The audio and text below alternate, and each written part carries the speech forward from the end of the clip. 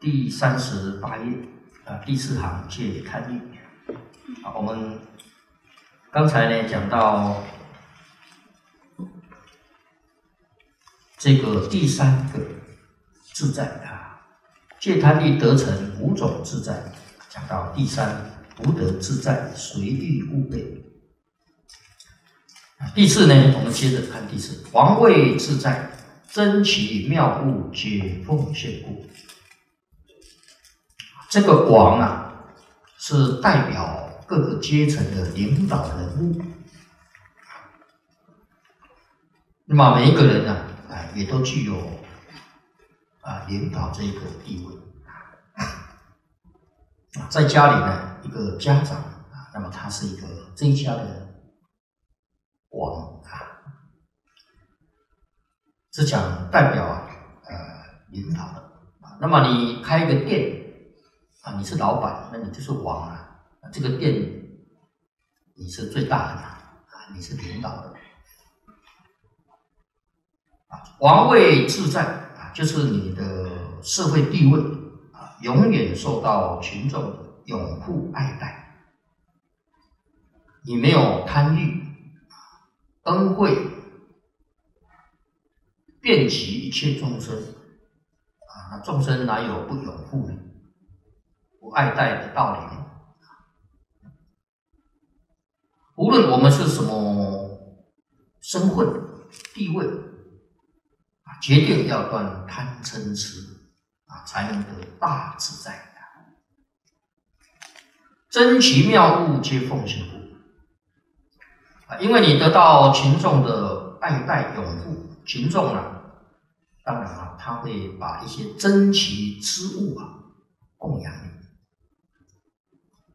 啊。由于你没有贪欲啊，你决定是回馈布施供养一切众生啊。这个因果是循环的啊。你布施给别人，那别人当然也会布施给你啊。这个因果是循环的。啊，这个果报无比殊胜。如果一个领导人自己享受珍奇宝物，不肯供养大众，那么这样呢，群众所有的珍奇宝物呢，那也都会各自藏匿起来，他也不拿出来，不肯奉献出来。于是，这个世间的珍奇宝物呢，都被淹没了，不能发挥其德用，这是罪业啊！什么罪业呢？不能物尽其用啊！每一个物物品啊，都有它的作用，那么你不能去充分的利用啊，让这个物发挥它的作用啊，这个就是罪过了。那么我们自己有能力、有智慧，不愿意教别人，这是另法，这是令法。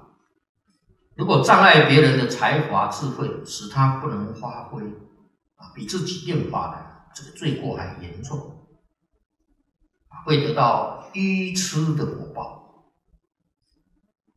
佛法讲啊，万法皆空，因果不空啊，因果。万法都空了，因果怎么会不空呢？啊，因会变成果，果又会变成，啊，所以因果永远在转变、循环、相续，啊，就是循环不空，转变不空，相续不空，啊，因变成果，果又变成因，好像我们吃水果，啊，吃到的是果，啊，那么水果那个壳啊，你再丢下去，它又变成因。哎它又会长成果，所以我们不要自私自利、短视近利啊，只顾自己的果报，应当啊扩大心量，转变念头，像诸佛菩萨一样，念念为众生着想，那么量大福大，越转就越殊胜了，不要怕。那么患了贪欲呢，这个王位就不自在了，珍奇难接受啊，这个珍奇宝物呢，别人也不不肯啊奉献出来了，奉献给你了啊，所以这个贪啊，就是造成了障碍。那么不贪呢，我们这个受用啊啊，永远没有穷尽的。我们再看第五，所获之物，过本所求，百倍殊胜，由于习时不坚记故。这是离贪欲得到的第五种自在。或是所得之物超过自己所求，百是形容词啊，不是数字啊，不是说只有一百倍意思就是说，你所得到的福报与你所修的功德啊，决定是相应的啊。你有多大的功德，那福福报就多大。佛的功德呢最大，灭度到今天呢都三千多年了。世间人对活菩萨的恭敬奉献依旧不减，什么原因呢？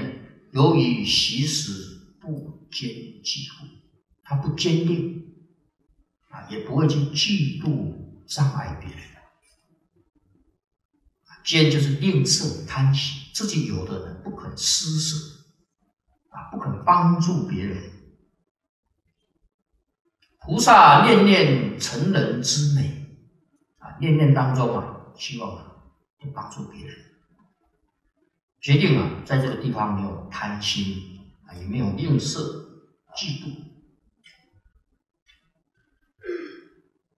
中国历史上的帝王，啊，多数啊都能够传了十几代。因为他做帝王的时候积德修善，接受圣贤的教诲；做臣子的也奉行圣贤教诲。啊，所以他的子孙呢，啊，能够绵延十几代。啊，像《了凡四训》讲的，啊，有一世之德者，就一世子孙保之；有二世、三世之德者。就有二世、三世子孙保之，啊，有十世、百世之德者，就有十世、百世的子孙来保之，啊，就看他积功累德了，积德多少多大，啊，我们要积德，不要积财，啊，积财也就伤道那有智慧的人呢，积德啊，积德呢给子孙，你不要积财给子孙，果报不一样，不要等到说来生来世，你现在就看得到了。啊，你积财给子孙，那子孙怎么样？他会不会好好的给你保持这个家道呢？就很难讲。我们现在看到社会上，很多分财产啊，兄弟反目成仇啊，兄弟姐妹呢，大家没有钱了，哇，大家都很好啊。那么一旦分财产了，哦，他分的多，他分的少啊，就争了，就争了，争了之后怎么样呢？兄弟就变。亲兄弟骨肉就变怎么样呢？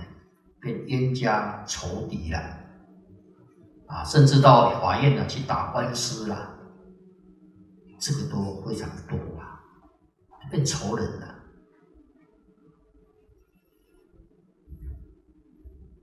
啊，那这个佛给我们讲的呢，啊，世间好话佛说尽啊，佛给我们讲的都是真实语啊，他绝对不骗我们。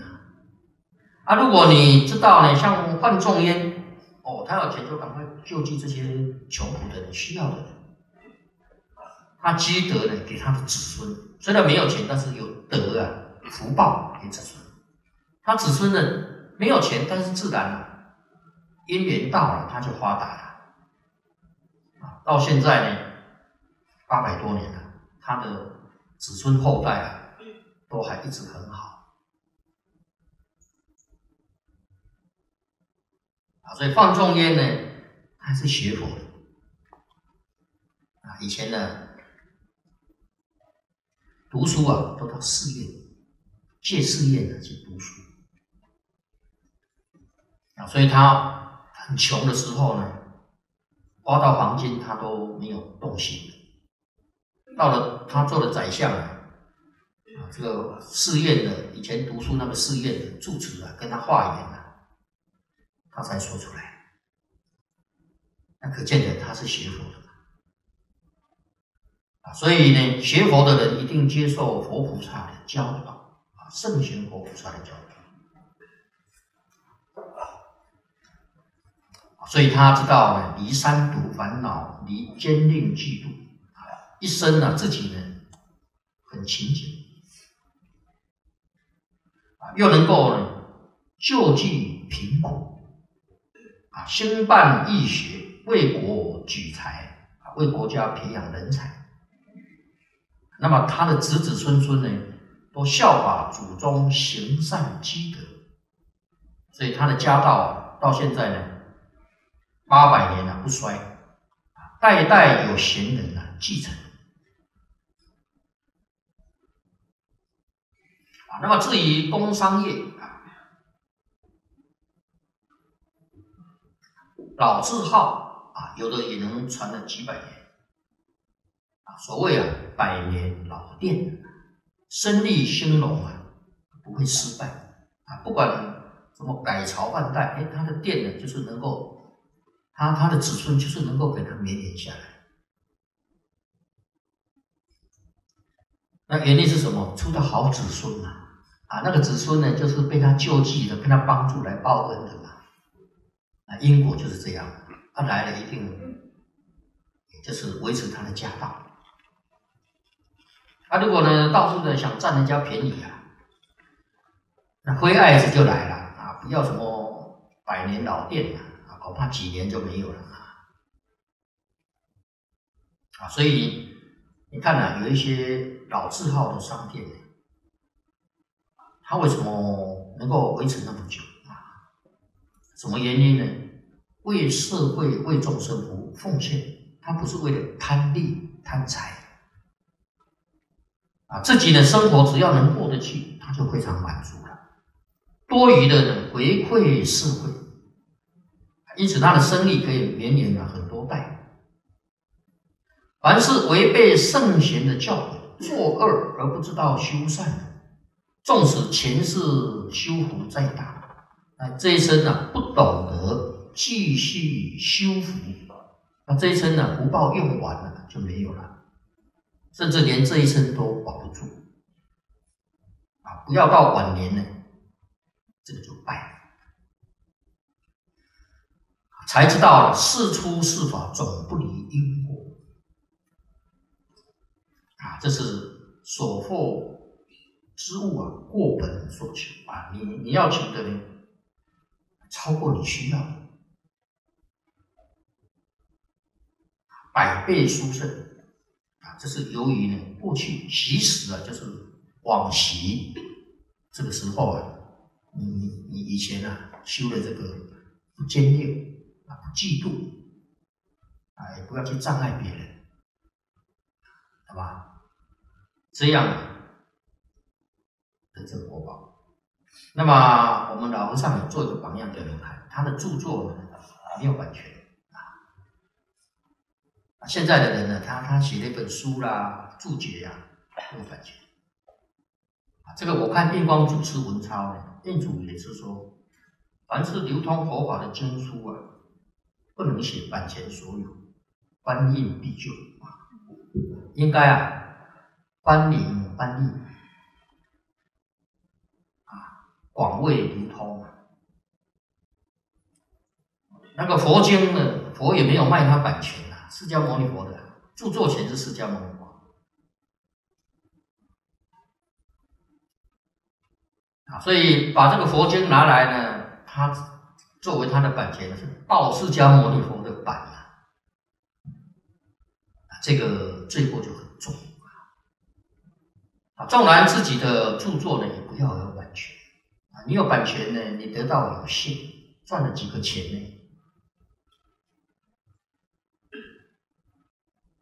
啊，所以呢，要有版权啊。那么人家呢，爱爱怎么做呢，就怎么做。啊，过去有同修去大陆啊，看到有一些商店啊，还有寺院在卖老和尚的认识佛教啊，他是在卖钱的，不是免费的。然后就去报告老和尚，说有人把师傅你的书啊拿去卖了。那么老和尚他讲一个原则啊，只要呢我没有卖他版权呐，啊，我是欢迎大家流通啊。那么我们有一些人花心出钱啊，去做出来呢，那免费的赠送供养他，他不会，他也很欢喜啊。他说有人拿去卖，那也没关系啦。他说：“帮助他财发财啊，财布施啊。但是呢，不能他不能写版权所有啊，只有他能卖，别人不能卖啊，不可以这样。谁要卖，你要免费流通，他这个他不干涉啊，他不干涉。那这边有免费的，啊那边在卖的都有，啊看看他要要去拿钱去买，还是要去拿免费的嘛。”让人家去选择啊，那么大部分去买的人呢，都是不知道的、初学的，他去逛书店呐，他看到啊，他看到呢啊，有在卖啊，有在卖啊，那有在卖呢，看了有关系啊，有人买啊，花钱去买，他一定会看啊，不要钱送给他，他不一定看，但是呢，他自己花钱去买，一定会看。所以这个我们也不要怕，也不要担心啊！一担心呢，我们就不自在了啊！怕人家拿去了，丢垃圾桶了，怎么也不能因意会死，啊！那么有人呢，的确呢，他拿了乱丢啊，那也有有心人呢，他回收哈，然后再整理整理，再去送给需要的。不要因意会死啊！但是我们只是告诉他呢，那么。当然，你需要呢，再来请啊，啊，不需要呢，那就让给别人。更不要呢，是设定的版权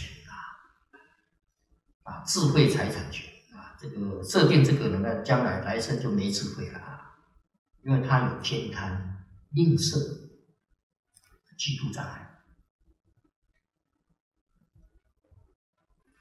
所以我们这些啊。老和尚啊，他也做一个榜样给我们看，效果啊，所以我们也应当啊这样来学习。那么以上讲的是这个离贪力得到这五种自在啊，有这么多好处。那么因果明了之后，那，我们就要努力呀来修行啊，离贪力啊。定从布施啊来下手。我们再看下面呢啊第三十九页 第五行啊，我们从戒称会看起。戒称会得八种喜悦心法：一无损恼心，二。无嗔恚心，三无争讼心，四柔和直直心，五得胜慈心，六常利益安众生心，七身相端严众共尊敬，八以何忍故速生犯事，犯嗔恚不得八种喜悦心法。一有损恼心，二有嗔恚心，三有争讼心，四粗广产屈心，五得烦害心，六不作利益安众生心，七身相不端严，众共不敬，八以粗广故，速生恶趣。啊，这是以贪嗔恚啊，跟犯嗔恚啊不同的果报。那么我们借了嗔恚，能得到八种喜悦心法啊。这个喜悦就是法喜充满。这个中国人啊。讲求养生之道啊，有很多养生的理论与方法。但是呢，如果只懂得养生，不懂得养心，病根不能拔除，体质就得不到根本的改善，啊，得不到转变。你的心地清净、平等、慈悲。自然身心健康，百病不生啊！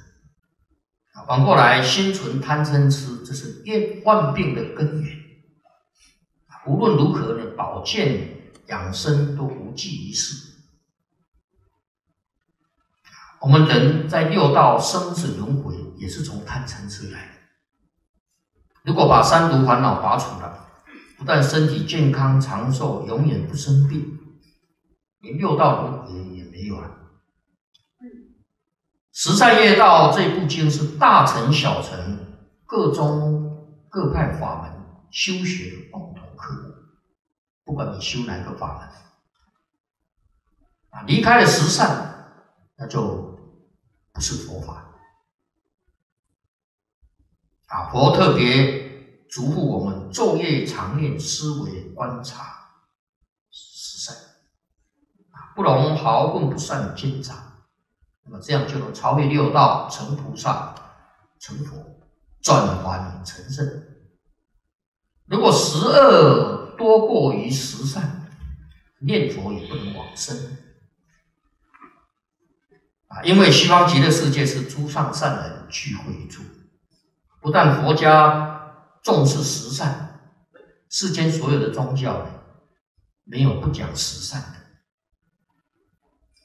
所以，十善呢，也是世间所有宗教共同修学的法门。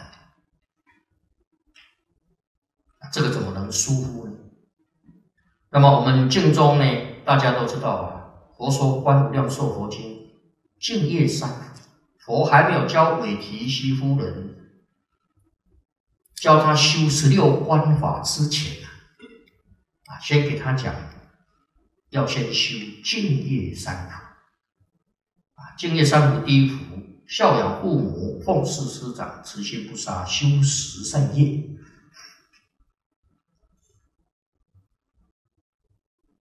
啊，这是基础啊。那么第二福才是受持三规，居足众戒，不犯威仪。第三福，发菩提心，深信因果，读诵大圣，劝进行者。啊，这是我们净土中净土三经啊，《佛说观无量寿佛经》讲的啊。那么六本净土中啊，跟观经的缘很深啊。在中国净宗二祖善导大师啊，他注解《佛说观无量寿佛经》四体书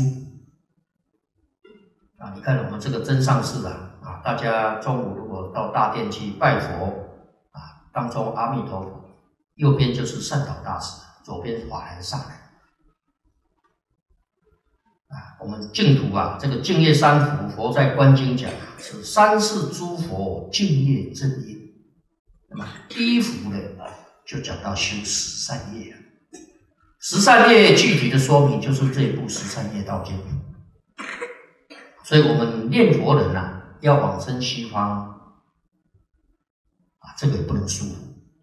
那么在《无量寿经》往生正因这一品里面呢，也讲到修十善啊，你修十善，然后信愿念佛求生净土，临命中呢，就会不惊不怖，心不颠倒啊，这样呢自在往生。可见得呢，这个十善呢，啊是助行，念佛是正行啊。那么，如果我们这个十二。有这个恶念啊，那么念佛呢就达不到大势至菩萨讲的啊，净念都是六根的净念相继。为什么我们念佛不能都是六根净念相继？因为有十恶业嘛，啊，这个恶业在障碍嘛，那恶业去掉了，那你要多是六根净念相继就不难了啊，这个我们一定要知道。那么我们眼光一定要放大啊，也不要怕死啊。这个讲到死呢，大家都会怕啊，但是学佛的人，特别是念佛的人呢，就不能怕，这是早晚的问题啊。啊，有生呢，他就有死啊。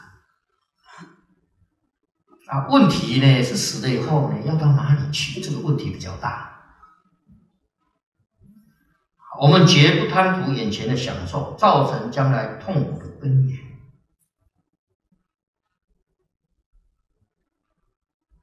啊，这个我们念佛人啊，啊，眼光要大。那么烦恼里面呢，三毒第一个是贪欲，啊，嗔恚是第二个。那么我们为什么嗔恚呢？贪不到就嗔了。啊，你得不到，得不到呢？你想要占有，贪欲就是想要占有，去控制。那占有不到，控制不到呢？那就生成慧心了。啊，所以贪嗔痴是邪知邪见，这是我们自信本来没有。可是众生无量劫以来啊，迷失了自信，长劫轮回，染上了这些毛病。养成了习气，要戒除当然很难。如何能戒除啊？唯有一门深入，常时熏修啊，才能回头是岸。啊，靠每天读经还不够啊，还要天天听经啊，听经呢之后还要研究讨论，详细讲解啊，我们才。懂得呢，怎么去依教奉行啊？经念呢念的不懂得怎么修啊？这个还是没有效果啊！所以呢，每天读经，还要听经啊，还要讲解啊，这样我们才有可能啊。知道怎么去依教奉行，在生活当中呢，知道哎，我怎么怎么去做啊，而且呢，还要有人啊做给我们看。那么老和尚呢，如果他这几十年呢，他讲跟做，他都要表演给我们看啊。如果只有讲呢，他没有做呢，我们也不晓得说，哎，他怎么修呢？比如说举一个例子，说布施，那怎么布施？布施两个字，我们看得懂啊。怎么做法呢？然后他就做给我们看，他没有版权啊，这个就布施啊。那很多人都要版权呐，那是很具体的，我们知道哦，要这样做。啊，那他有钱呢，就是回馈啊，啊，就是他他就布施啊，刚开始呢就是很痛，拿出来像割肉一样。坚定那个心呢很强，但是呢要对治，要布施。那我听经之后呢，我也开始学啊，我学的我也是一样，好痛苦。那个钱不要布施多好啊，放着我可以用了好几天。啊，以前我在家呢，就是也是学了啊，听了经我也哎，老上就这么做，那我们也学，那就多少呢布施一下印经啊。啊，那么布施之后呢，就要放下了，不要挂碍啊，就是布施。那么我们布施出去呢，啊，也就不要去烦恼那个钱呐，啊，如果有人他拿去做好事，那么我们也就没有放在心上了。不然呢，啊，布施之后呢，我们心都不清净，要去管他的事情，啊，这个也是心不清净。啊，所以以前我们图书馆有一个出家众啊，他是一个退伍军人呐，啊，有一些退伍军啊，常常要来印经。印经呢，他说哇，这个经呢送到哪里？有没有毒啊？怎么样？我我看他一天到晚非常烦恼啊。后来呢，老和尚给他讲，你这样布施的这么痛苦呢，是什么意义呢？啊，那么更早期呢，有人布施啊，就是印经啊，那印经我们当时印经都有。征信，说我们收了多少，哪些人收了多少啊？这印经的功德方面都打在板前页啊。那么那次有一个居士他负责啊，啊，那后来呢，就是那个时候韩馆长啊已经护持老和尚了，后来这个经啊印了剩下十几块台币，啊十几块台币呢，啊那个居士呢就很不放心，这个十几块台币到哪里去啊？然后去问师傅啊，问了好几次啊。那后来呢，那十几块到哪里去？实在讲，师傅他也不知道。后来师傅被他问的大概受不了了。后来在讲经的时候，大概三十年前我就听他在讲。那个时候还没有华上图书馆，师傅就说，那十几块呢被我吃掉了，师傅到最后呢，没办法，他问的实在他受不了。他说：“那十几块呢，就被我吃掉了。”啊，这样。所以，我们布施啊，你把那个因果讲清楚啊，他拿去呢是因果他的事情。比如说你要印经啊，或者做什么功德，你跟他讲清楚啊。就像新加坡那个坛禅老和尚，他卖那个香烛赚的钱呢，他自己也没有吃的好一点。他说拿去大陆呢，去寺院啊去布施，然后就给那个主持讲啊，我这个钱是要给你恢复这个寺院的，那因果就是你的啦，做的如理如法，那你有功德啊；做的不理理不如法，罪过你要负责啊，要负责因果责任，交给他就不再过问了。这样我们心才会清净，才会自在嘛。如果你布施出去呢，一天到晚去调查，那不是更麻烦？你就干脆不要布施好了，自己去做就好了嘛。啊，所以我们委托人家做了啊，就你就要信任他。如果你不相信他，你就不要给他，这样啊，你才会自在嘛。这个都是教给我们一些比较具体的一些做法。啊，所以有一些居士拿钱给我啊，我也是跟他讲清楚啊。我说这个公归公，私归私啊。说如果你供养道场啊、印经啊，或者布置道场做什么，我们都一定要开收据。你不要，我也要开。你不要呢，我要把那个收据开了，放在观音菩萨面前，然后给你回向，一个月就把它化掉。啊，人不知道呢，佛菩萨他都知道啊。那我说你红包给我了，我没有收据啊，我只能跟你说谢谢啊。啊，如果你不怕我吃掉，就给我；如果怕我吃掉呢，那就不要给我。你自在，我也自在啊，彼此没有压力。如果你一旦给我了，你就不要管我要怎么做了啊。那我吃掉了，那那我要下地狱啊，是我的事情，就不要管。啊，那如果你相信我啊，那你就给我啊；不相信啊，就不要给我。我都是真跟人家讲清楚的啊啊啊！给我红包呢，那我没有收起，对不起啊。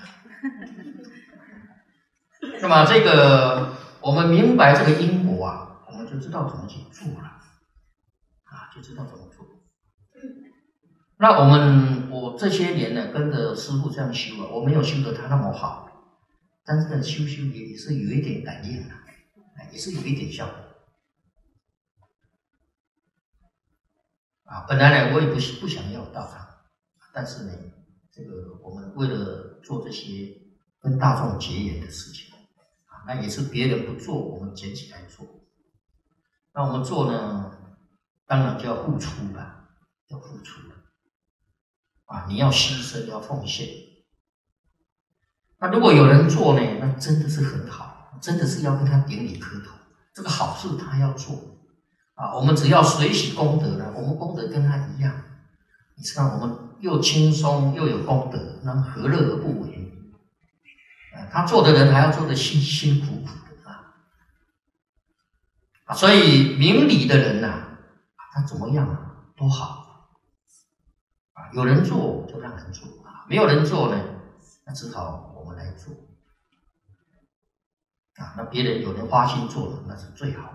啊，我们一定要随喜功德，啊，不要生嗔恚心。那么我们大家呢在一起共修啊，啊，每天共修研究讨论道理越清楚越明白，那才有能力应付现前社会这些复杂的思想，啊，在滚滚红尘里不失清净心。贪欲之害呢，它是时间长，那么缓慢。啊；那么嗔恚之害呢，时间短，很猛烈啊。印光祖师在文钞记载，有一些无知的妇女呢，以前呢的人都吃人奶，那么如果发脾气啊，那个喂奶给小孩吃呢，那个小孩往往就被毒死了。啊，这个在西洋也发生过这个事情。啊，后来有医生拿去化验，这个人生气了，他那个奶去化验，就那个血液啊，就变得毒素在。所以印光祖师特别慈悲啊，开示，他说这个以前医生都没有讲过这个事情。啊，那么他看到了西洋有一个妇人啊，生气了，发脾气呢。喂奶把那个孩子毒死了，啊，都他知道很多妇女啊不知道的，发脾气的时候啊不可以喂奶，那个奶有毒，孩子吃了会死，啊，一定啊要等到这个心平气和啊，你那个心完全平静下来啊，这个时候又恢复正常了，才可以喂奶。可见的这个嗔恚呢也。非常可怕啊！对我们身心有非常严重的伤害。那么要怎么修嗔恚呢？啊，要修忍辱啊！忍辱呢，对治嗔恚啊。佛法讲啊，如果我们不修忍辱，常常发脾气呢，一念嗔心起，百万障门开啊。佛又说了，火烧功德林。啊，佛是嗔恚发脾气啊，这个功德呢，就是清净心啊。修功德呢，如果发个脾气呢，这个功德就被这个嗔恚火烧光了啊，什么功德都没有了啊。所以我们有多少功德呢？要看我们什么时候发脾气，然后先平静下来，到现在呢，一直都还没有发过脾气。那这一段时间就叫功德！如果还气呼呼的，那个没有功德，那个功德都烧了。所以要累积功德呢不容易啊，福德呢那就没有问题。福德呢是福报，那功德呢是清净心，不起嗔恚心才是功德。若你嗔恚，即得八种喜悦心法。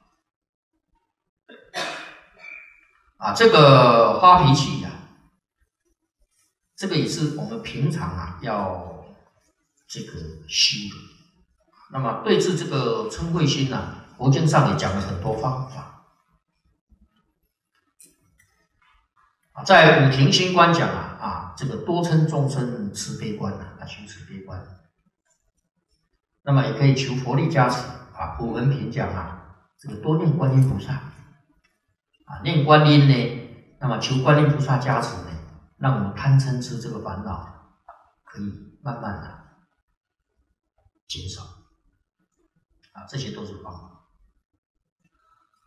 那么最近呃，这个至善圆满、至善多元文化教育啊。印了一部《忍经》啊，白忍啊，忍耐那个忍啊，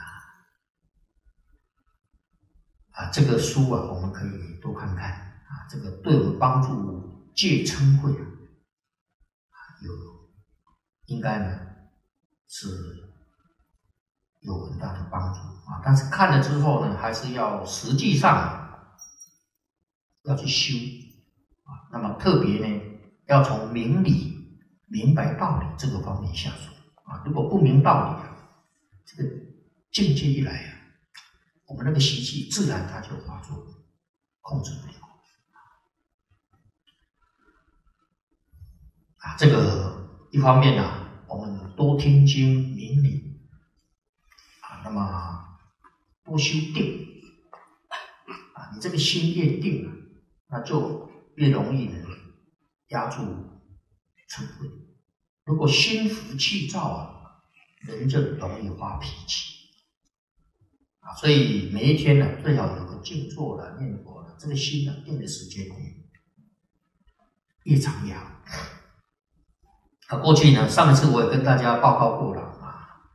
我如果一天读七部《无量寿经》呢，那就嗔恚习气了。在过去呢，啊，十几年前呢。就你看到一些不顺眼的事情啊，你就不会生气了啊。如果今天呢，这个修定的时间不够，那心就烦啊，心浮气躁，那最容易啊发脾气啊。所以修定啊，多静坐，修定啊，多念佛。我们用念佛方法静坐念佛，修心养性，让这个气啊。停下来啊！你你你这个定功越深呢，那遇到的境界呢，又越能承受一些逆境啊！所以我建议大家呢，这个修定的时间呢，静坐时间呢，可以加强。古人就是收摄这个福气，心福气躁这个气，让它降服下来，给它沉淀下来啊，然后呢，你就比较不会发脾气。啊如果你忙了，忙得团团转转，心浮气躁，啊，看那个人是看的，看着那个人还是照样发脾气的，啊，所以我们那个呃布忍师啊，现在在在这个马来西亚附近啊，然后上给他取一个法号叫悟人。啊，那等不过呢，他就发脾气了，啊，就是呢会发脾气，所以老和尚呢他就，就要你忍，啊，那有一次呢，他在香港住在一个电影明星的家里，他那个电影明星是以前是演这个武打片的，我也去看过啊，然后呢。他这个电影明星，他的妈妈呢，就告老和尚，这个悟忍师呢，在他家呢，这样手叉腰，指着他鼻子骂啊。那老和尚呢，就去骂悟忍师了。你怎么住在人家家里，还手叉腰去人家指着鼻子骂呢？那悟忍师呢，受了满腹的委屈，哭啊，打电话给我。他说：“二师兄，我住人家家里，我可能去叉腰。”然后指着他的鼻子骂，啊！我说：“哎呀，不要伤心，不要伤心啊！这个师傅在磨练你啊，师傅不是给你起个法叫悟忍吗？就是要你忍啊！哎，你忍得过就是你的啦，忍不过就是别人的啦。啊，所以你不好忍啊，一把刀插在心上啊。那讲的时候很容易啊，境界现前呢是该发脾气就发脾气啊。”这个平常啊，你没有做这个功夫呢，境界一来呢，真的我自己也试过好几次啊，啊，在还没有逆境来的时候，我我也会讲的，哇，要忍辱啦，也劝别人忍辱，那自己碰到的时候，管他什么忍辱啊，到这个再说就会这样啊。但现在呢，我想起来，哎，这个我经过这些经验啊，多修定啊，静坐啦，每一天呢，你定的时间呢，越长越好。啊，戒呢自贪，定呢自嗔恚，慧呢破一次，戒定慧嘛。戒定慧呢，就是熄灭贪嗔痴。那么我们如果离开这个称谓呢，我们临命中啊，哎，你功夫就会得力啊！啊，临命中最怕呢，在这个最关键最后一念的发个脾气，那就是就就完了啊！所以为什么临终啊不可以人到断气的时候八个小时不能动，连床都不能碰，就怕他碰了他有痛苦，他那个嗔恚心就起来了，嗔恚心起来他就堕地狱了。所以这个、这个、这个不可以啊！啊，如果你练到一心不乱的人，那你怎么动他也没有关系啊，你拿刀割他，他也无所谓啊。啊，那如果没有那个功夫呢？啊，说要兼器官什么，那当然了，你现在人好好的，兼什么都可以嘛。啊，但是呢，你一旦生病的时候啊，那个时候没有给你打。打麻药啊，给你割下去，你会不会痛啊？那个时候呢，痛是真的了，其他都是假的，痛是真的。那痛的时候就怎么样？就嗔恚心了，堕落了。啊，所以我们净土啊啊，就是强调这个不不能动啊，最少八个小时、十二个小时啊，能够练到二十四小时最好，最少八个小时，他的神智才会离开身体。啊，所以我们平常如果有能力伏烦恼啊，不起现行，那么这一生啊，求生净土了才有把握。那么离嗔恚第一种喜悦心法啊，欢喜无损恼心啊，损是损人利己，恼呢就是让人烦恼啊，所作所为呢令别人讨厌。那么要真正做到无损恼心呢，就要离嗔恚。那反过来呢，就是常常去损恼别人。第二呢，无嗔恚心，啊，表现在脸上叫嗔，气在心里不说出来叫恚，这个都没有。那么有了嗔恚心呢，就不能跟人和睦相处，常常跟人家有冲突。这些都是嗔恚的现象。那么世间人呢？啊，稍不如意就生气，就怨恨啊。那么这个嗔恚心一起来了，我们的理性、智慧都被蒙蔽了。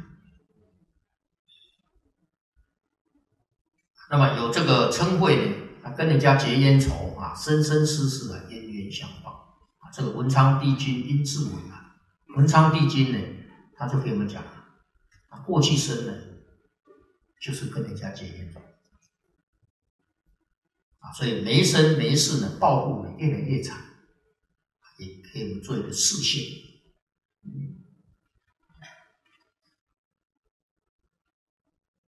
这个是无嗔恚心，那反过来就是有嗔恚心了啊。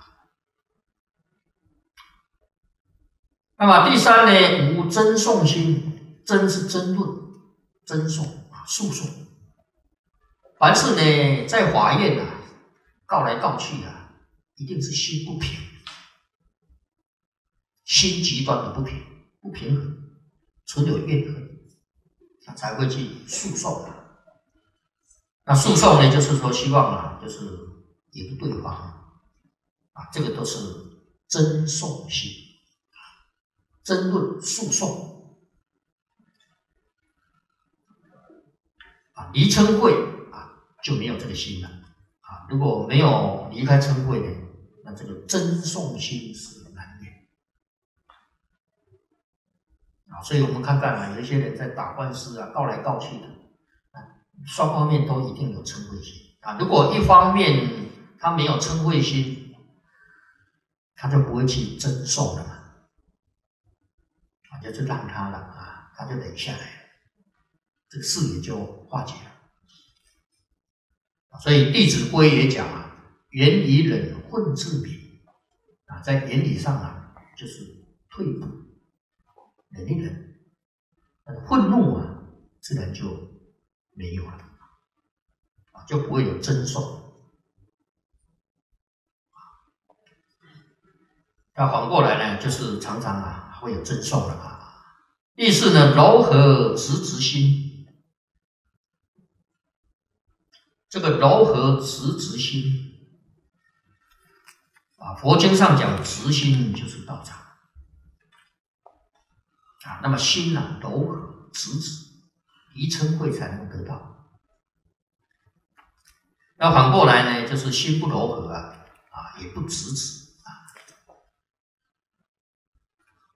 第五呢，得胜者慈心啊。这个胜者呢，是指。三界以上的啊，这个四圣法界声闻缘觉全教菩萨啊，还没有明心见性的佛，他们的慈悲心。那如果明心见性的是法身大士的大慈悲心。那么天人呢，六道的天人呢，他们也有慈心啊，他们他们的慈心呢啊，不能算大慈悲心是有慈悲心的。啊，所以色界天人呐，要修慈悲喜舍。那么此此地讲圣者呢，那当然了，是指超越六道。那如果把这个标准降低呢，那起码世间的人天道的圣贤啊，人天道的圣贤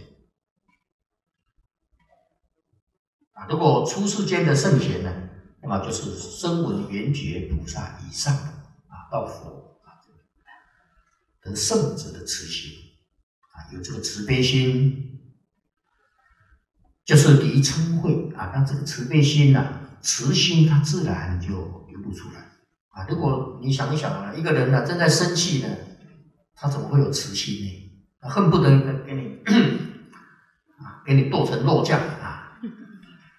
这这怎么会慈心呢？这慈心就没有了嘛啊啊！所以呢，慈心呢要离嗔恚，它才会现前。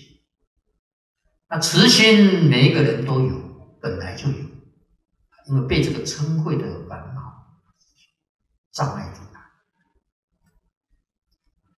啊。如果不离嗔恚的，当然就得不到圣者慈心。第六呢，常安常作利益安众生心啊，这个常作呢，是一切时一切处，无论顺境逆境，利益众生从不间断，令一切众生得到平安，这是大慈悲心的落实。那么我们老和尚啊，也做一个榜样给我们学习啊。啊，他真的是年纪这么大了，还真的是常做利益安众生心啊！希望这个世界的灾难啊能化解啊，起码也要延缓啊，延缓一天发生灾难就是无量功德了啊！希望灾难呢能够减轻，那么要利益众生，众生没那么。好度啊！啊，众生呢，你利益他呢，他还会怀疑你，你到底有什么企图呢？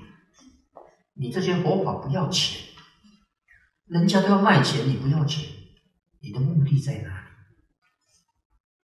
啊，所以去年呢，我们老和尚在 法国巴黎啊，啊，联合国教科文组织啊，那个办那个啊，卫赛节。就是纪念了释迦牟尼佛圣诞两千五百五十一年啊，然后呢，他演讲，他就讲了，他说很多人怀疑我啊，有什么目的，有什么企图。他说我们的确有目的，的确有企图。什么目的，什么企图呢？希望把坏人教成好人啊！希望啊啊这个世界和平啊！我们企图是这一个啊啊！那么众生呢不好度啊！众生呢因为烦恼很多，嫉妒障碍，然后呢你要做点好事呢，好事多磨，他都会来障碍你啊！你好意对他呢，那么还要遭受众生的侮辱、诽谤、糟蹋啊！然后呢？给你打个问号啊！时时刻刻呢怀疑你有什么企图。那么遭受到这样的对待啊，我们一般人呢算了，我们做的那个辛苦干什么？对你对你有好处啊，你还一直在怀疑我啊，还要给你们诽谤，还要侮辱，还要障碍这个障碍那个，算了，不要做了。但是老和尚表现给我看，还是做啊。他说呢，有一天他们会明白的啊。有时候呢，我我自己呢跟着师傅在走啊，有时候呢师傅手没有软了，我先软了。啊，但是看到师傅在做呢，还是要再提起来。啊，啊不然呢？劳上他说，现在他在澳洲啊，他也是啊，那个澳洲政府发给他荣誉公民啊，啊，他在那个金色里面呐，很自在啊，那何必去啊受这些苦呢？啊，但是为了众生所以我们做一点弘法利生的事情，我们一定要心理准备，不要怕没有障碍啊。这个障碍啊，时时刻刻的等着啊，所以呢，现在呢碰到多了，也就比较习惯了啊，走到哪里不是我的一些事情啊。那老和尚呢，遇到那么大的障碍呢，都能忍了，那我们这一点就不算什么啊。所以无论顺境逆境啊，利益众生呢，从不间断这个叫常作利益，安众生心。那么如果有嗔恚心的，当然就做不到了。那么一气之下，那不要做了啊啊！谁怕谁，对不对啊？何必受那些苦呢？啊，那窝窝囊囊的，何必呢？啊，但是呢，啊，疑嗔恚呢，就不在乎了，有障碍啊。所以老和尚呢，啊，教我们啊，遇到障碍怎么办呢？他说要学老子啊，中国老子啊，讲啊，上善若水啊，他那个水呢往下流，那个水碰到石头怎么办呢？他这样直的流不过去呢，他转个弯还是继续流啊。这个以前呐，在华藏图书馆，啊就，哦，这个老和尚他真的在修忍辱波罗蜜啊，啊，他如果没有在图书馆给馆长这样磨练啊。这个三十年呐，现在遇到这些境界，一定会退心，在那边磨的啊。那馆长呢，有时候到美国去了，要逛百货公司啊，那个你正在买什么鞭子啊？我们要去看哎，比丘，哎，这个买米种这个，我就看师傅他怎么样，那师傅都很自在啦，无所谓啦啊。啊，那馆长的儿子呢，他要吃。没有吃素啊啊！我跟悟德师就站在旁边了。那老板的，一面啊摇那个肉羹，这个出家人你在吃这个啊？哦，就不晓得从何说起啊！如果在日本的和尚呢，应该是没有这个问题。但在台湾呢，你们出家人也有吃肉羹啊？什么时候出家人呢开始吃荤了？我站在那里呢，我是在想。不晓得该怎么办，也不晓得说什么，就干脆就不要回答。这个都是修忍路啊，不好修啊啊！所以呢，忍路呢，六度摆在第三个啊啊，所以要破嗔恚，要通过这一关的啊。这个讲一讲比较快。啊，我们看第八种喜悦心法，以和忍故速生万事是为大。你能够和与一切众生和睦相处，人呢，能够承受一切善恶顺应境界。那么，如果你不念佛求生净土，你很快速的往生到万世。这个万就是大梵天的世界天啊，因为能够忍辱呢，才能得定啊。这个布施、持戒、忍辱、精进、禅定，才能得禅定。如果你受不了啊，就没有定啊。定呢是自成不会的啊。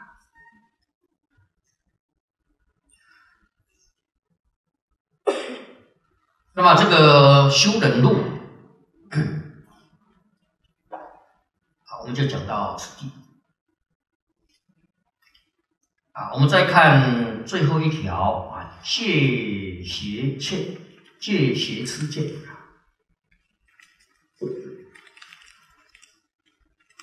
得成十功，成就十功德法：一得真善意乐，真善等理；二深信因果，零损生命，终不作恶；三为皈依佛，归于天等。四直心正见，永离一切吉凶以往；五长生人天，不跟恶道；六无量福慧，转转增胜；七永离邪道，行于圣道；八不起身见，舍诸恶业；九住无爱见，十不堕诸难；幻邪之见，不成就十功德法；一失真善意乐，真善等理。二不信因果，引损生命中作恶；三违规依外道于天等；四虚心邪见，难离一切吉凶以往；五长生恶趣，不跟善道；六无量邪慧，转转增胜；七永离正道，行于非道；八常起身见，舍诸善业。九住有爱见，十常度诸难啊。那么这个是反面的啊。戒邪之见就是离愚痴啊，可以得到成就十种功德法第一个就是得真善意乐，真善等理啊。这个真善呢，等理就是真正的善知识、善友。啊，这个要离愚痴啊。那么，如果不离愚痴呢？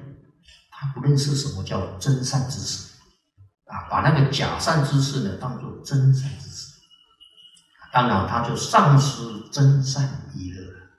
他得到了意乐呢，那不是真的啊。所以有些人呢，学到了那个邪法了，错了，他不知道。这第一种功德。那么依痴是在讲啊，贪嗔呢还比较容易对治啊，因为贪跟嗔这两这两个烦恼，我们比较容易分辨。贪心、嗔会发脾气，大家比较容易分辨。依痴比较麻烦，依痴呢就是是非善恶、真妄邪正呢，它颠倒了，他不明白，他没有办法分辨。错的当做对的，对的当做错的。那你给他讲呢？他说是你错了，不是他错了，这个就很麻烦啊。那如果说贪心啊，我们跟他讲哦，对，这个贪心不对啊。嗔恚心发脾气啊，这个是嗔恚心发脾气不好，这个比较容易分辨。那依痴就难了，所以依痴比那个贪嗔更难啊。那么这个对治依痴呢，一定要读圣贤书。啊，要遇到真善知识啊，这个要自己有善根呐，啊，自己善根怎么培养啊？多读经，亲近善友啊，所以依痴比较麻烦啊，比贪嗔啊更麻烦啊，邪知邪见啊，他自己学错了啊，以前呢，我我的亲家，我大嫂的母亲呐，她是啊信了一个教啊，要发誓啊，不可以违背啊，违背会被雷打死啊。后来呢，我大嫂学了佛了，师父劝她来学佛啊，受菩萨戒。那每一次呢，天上打雷，那哦，他都吓得赶快躲进去，就给他讲不会啦，保证不会被打死，你不要怕啦。啊，到最后呢，他不是被雷打死的，是念佛助念他往生的啦。啊，那给他有些人给他讲了，他不相信啊，他骗他的，他他就相信了，听骗不听劝啊，是一点办法都没有，所以那一次很麻烦。错了，给他纠正了，他不接受，他还说你错了，不是他错了。第二呢，深信因果，零损生命中不作恶啊。那么不邪见的人呢，那么他对因果啊深信不疑。当然了啊，宁愿呢这个命没有了，他也不会去造作恶业啊。他知道了这个造作恶业呢有果报。啊，这个生命没有了，那顶多呢，要换一个生嘛，他来生不会堕落嘛。啊，如果你造作恶业呢，来生就堕落了。那么有医痴的人啊，那当然了，他不能相信因果。你跟他讲这个因果报应啊，他不相信。啊，所以呢，他宁愿呢损生命啊，还是要造恶啊。第三呢，为归佛归于天等啊。这个佛是三界导师啊，佛是三界导师。那么遇到佛法，知道要皈依佛。啊，就是依照佛在经典的教导来学习啊。那么天人的智慧呢，比我们人间要高啊，比我们人间要高啊。但是呢，他还没有出六道，所以当然这个天人的智慧不能跟佛相比。啊佛的智慧是究竟圆满，天人的智慧呢不究竟不圆满。那么我们当然啊，以佛为标准，以佛为标准啊，所以为皈依佛啊，归于天人啊，知道佛呢是三界呢智慧最圆满的啊。那么天人呢有智慧，比我们智慧高啊，但是呢跟佛啊，他是不圆满、不究竟。那么你信仰的其他宗教啊，来学佛呢，那个天人啊也会赞叹，因为天人啊，上帝啊也是佛的学生嘛。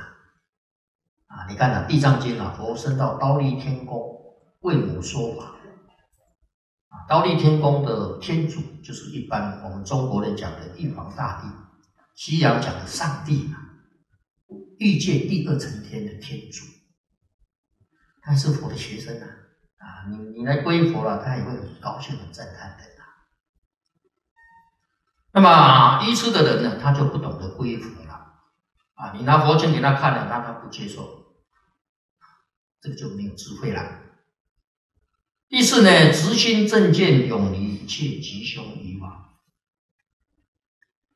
直心正见也是要离愚痴，那怎么离愚痴呢？阿难问是佛吉凶经给我讲啊，我们学佛第一个条件呢，要亲近名师啊，对佛法真正通达明白的老师来给我们指导啊，你学了才不会学错了。那么你学对了啊，那永远离开一切吉凶以往啊，对吉凶祸福啊。你就没有怀疑了啊！这个网是形容密密麻麻的啊，疑惑太多了啊，阿兰问世佛吉凶经是一个具体的经典。阿兰尊者，请问释迦牟尼佛，为什么有的人学佛得到吉祥如意，有的人学佛得到凶灾呢？到底学佛好不好呢？啊，是不是因为学了佛呢，才遭到这个不如意的果报呢？啊，佛答复了他这个问题，讲了一部《阿兰问世佛吉凶经》，怎么学呢？他得到吉祥。那学错误的人，那当然他的果报是相反的。那么这个都是靠智慧啊。那么智慧呢，我们从老师那里来学习。所以第一个条件，从名师受戒啊，真正的三知识，接受他的指导啊，你才不会学错了。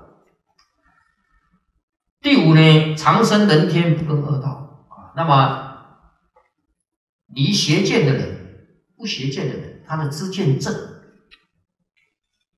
当然了，他不会造恶业啊。那么纵然在六道呢，他也不会堕三恶道啊，总是在人天上道。那么愚痴呢，那容易造恶业啊，当然堕恶道的机会呢多了。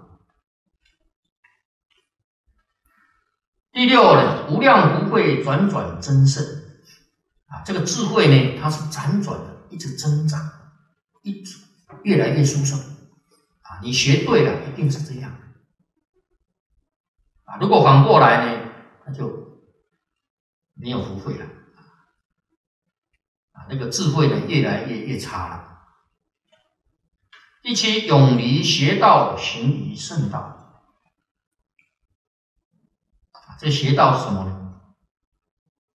啊，就是错误的，他修学呢方向错了。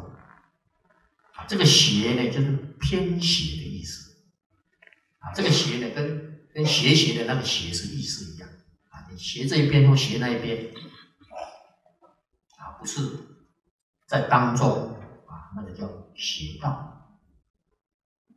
那么行以圣道，圣正圣道，佛菩萨圣贤之道啊，这一条是康庄的大道，光明的大道。成佛之道，那反过来呢？那就是学了邪道，违背圣道。第八呢，不起身见，舍诸恶业。啊，我们这个邪见呢，第一个错误的见解，就是执着这个身体啊是我。啊，真正的我呢，我们反而迷失了，忘失了。第一个呢，啊，要破就是身见，不要执着这个身字，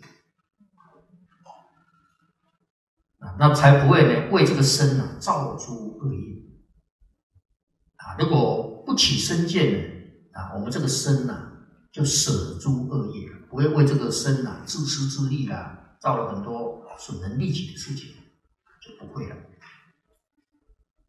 啊，那反过来呢？啊执着这个身见啊，这个恶业呢就没有办法舍离了啊，这个恶业呢也越来越多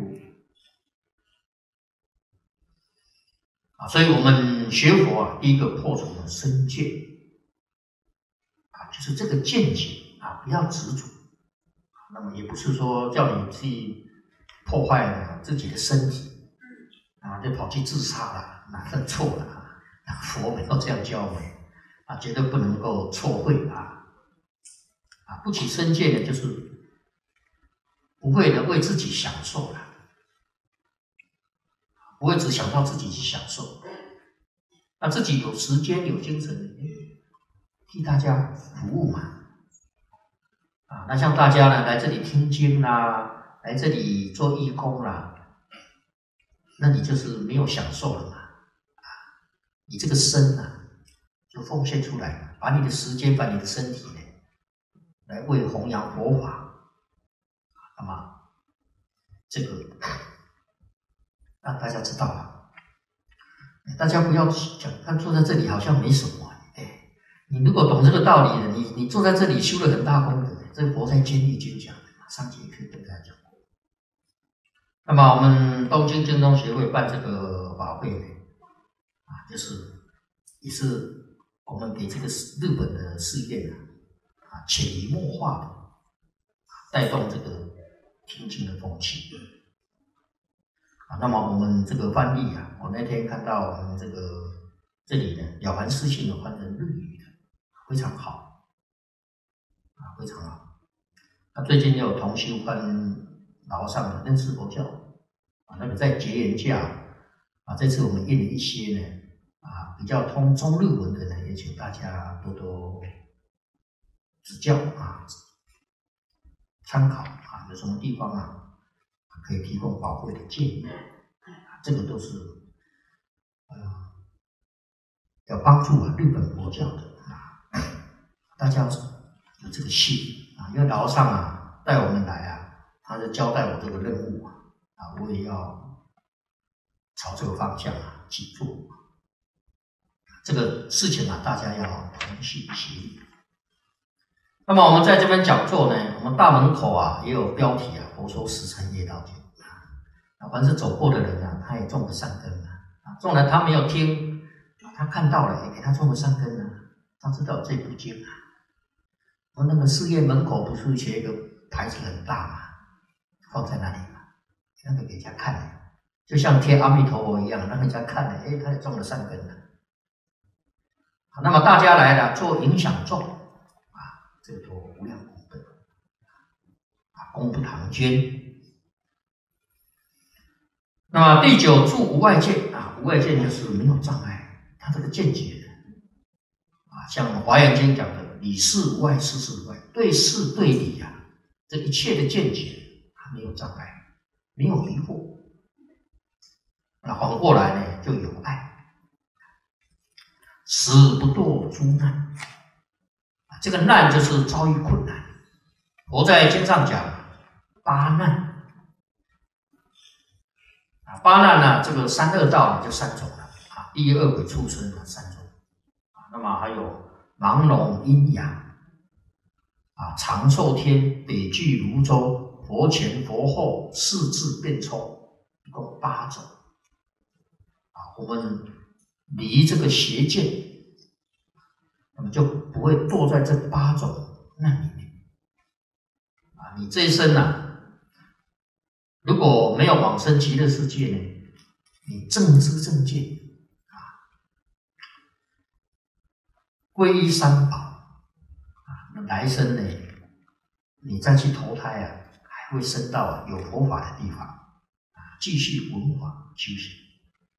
但是我们修净土，当然了，希望啊，我们这一生往生极乐世界去做佛啊，这个是最殊胜、最圆满的果。好，那么我们这次讲座到此圆满了啊。那么这个经啊，我就把这个偶遇大师呢，这个十善业道经结了。这个这次啊，跟大家介绍到此地。啊，这个经我们要长时熏修啊。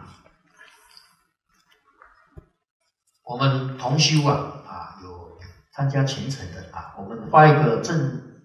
这个证书啊是鼓励的性质啊，不是毕业啊。